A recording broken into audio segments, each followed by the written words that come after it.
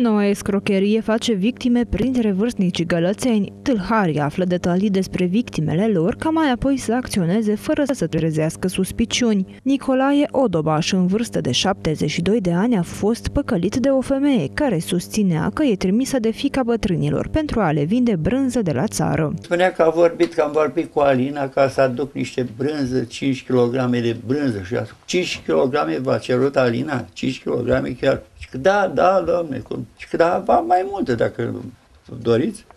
și, și mi-a spus că atunci da, mai dați-vă încă trei. Că eu am niște colegi, mă rog, fost colegi de servicii din proiectare care am luat pe aici așa și cumpărau băieții. Așa.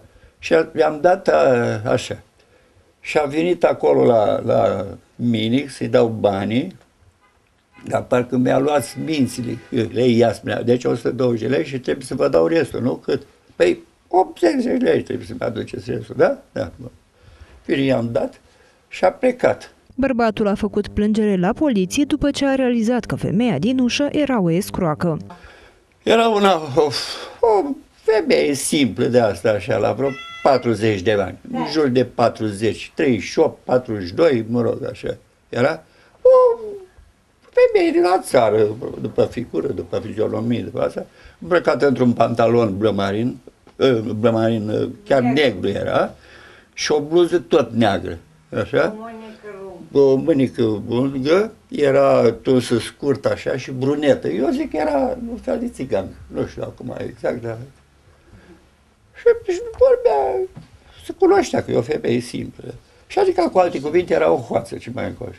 Da. Printr-o experiență asemănătoare a trecut și Petrică Chiriță, în vârstă de 65 de ani, care primise o super ofertă la carne de curcan. Instinctul l-a scăpat de plata alimentului fictiv.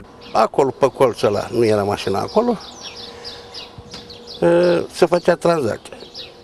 Hai, dă sacoșile încoace, banii cât ai? Băi, am două milioane, 300, mai trebuie 200, dar dacă spui vii că mai dau eu 200. Da, lasă că de ajuns și ăștia, dă bani încoace și acum să-ți dau bani.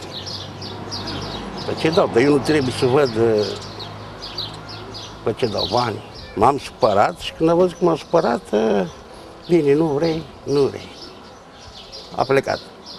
Dar eu mi-am dat seama că el este un escroc. Polițiștii îi sfătuiesc pe gălățeni să nu se încreadă în străinii care le propun afaceri avantajoase, să nu plătească în avans și nici să nu îi lase să intre în locuință. Polițiștii gălățeni le recomandă persoanelor în vârstă să manifeste mai multă prudență atunci când sunt contactate de persoane necunoscute care le cer diverse sume de bani în schimbul unor servicii.